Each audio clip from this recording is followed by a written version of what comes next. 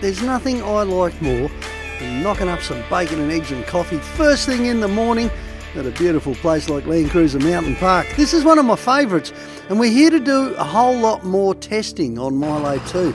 But this time around, one of the things of real interest to me is mud tyres, because I'm trying these Federals for the first time, even though I've been running them for a year or so, in what I'd call really sticky, horrible mud conditions. This is because it's quite firm on the surface. It looks okay, but it's been raining here for a few weeks and it is super slippery underneath. In fact, it's been slippery to the point where no one's really been up some of these tracks for a while. You can really tell the further you go. Now, I've got a few advantages. You know, I've got lockers both ends.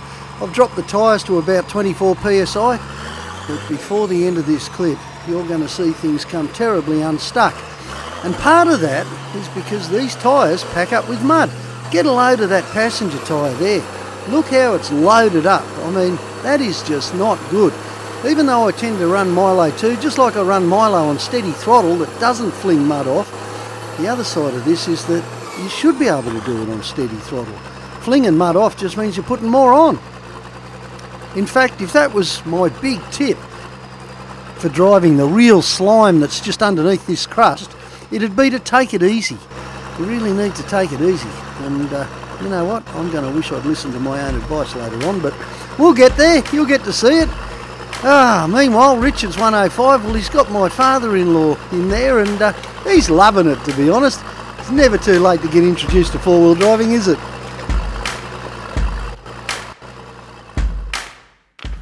Looks a bit gnarly, mate. Mate, would you call that a diff cracker? that one there? Yeah. For sure. That is slippery. Look at that. Ooh. Uh-oh. Oh dear. Go for it. Let's go for it. First bit. Go for it. Don't worry Go for it. Go for it. Me too, actually. That first bit's the worst part there.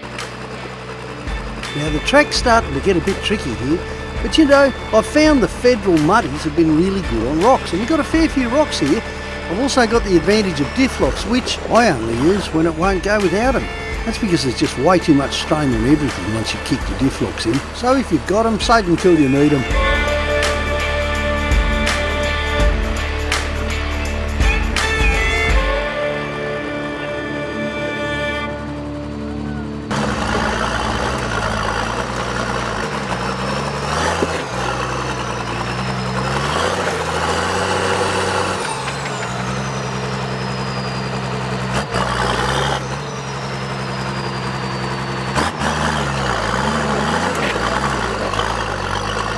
Milo 2 is working out to be a great test rig too. It's just so much fun to drive.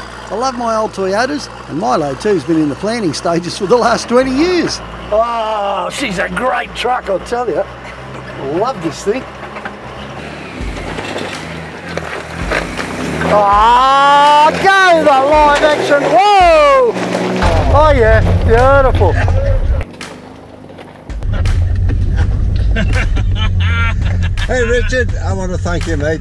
You just cured my constipation. How good's that, eh? 105 Toyota, possibly the best truck since the 40 series and the 80 series and maybe the 60 series.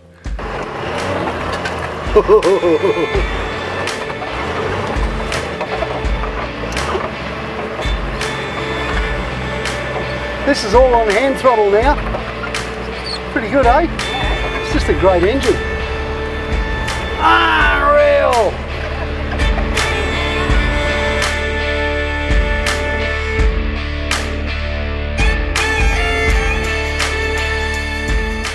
This is what I love about four-wheel driving.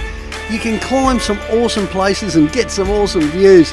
And out here, right up in the mountains behind the Sunshine Coast, well, oh, it's just glorious country. Just makes you proud to be Australian, doesn't it?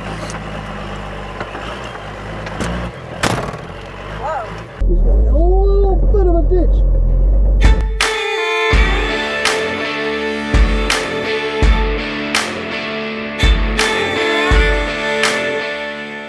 I've been going bush one way or another most of my life.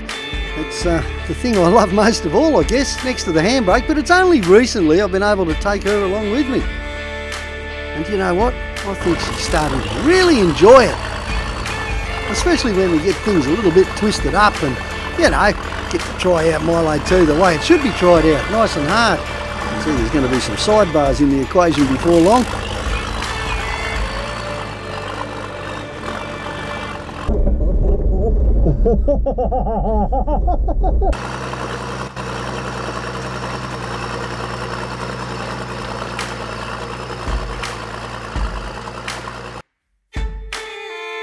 Unfortunately, exciting means there's always an element of risk because the further we go, the more water's coming up to the surface and you can feel how slimy it is deep down. The truck's slipping all over the place. I'm still running 20 psi, but I'm thinking, ah, oh, I probably should be dropping a bit of air out of these tyres. I should have thought of that a bit sooner, though. By Christ.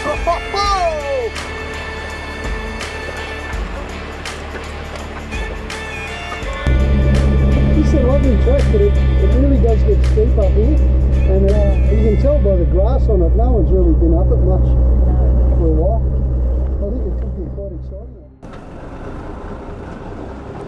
What you're about to see is the biggest stuff up of my off-road career. Okay, it's as easy as that. A few things went wrong here. Didn't take the time to let the tyres down.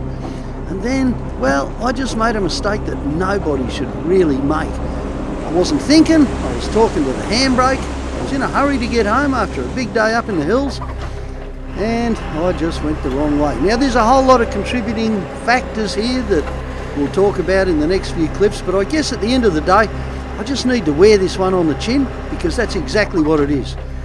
I'm showing you this to keep me honest. I just want the message to come across. It doesn't matter how long you've been doing this stuff, you can still get it wrong. Oh. Have a look. Rev Ridge. Rev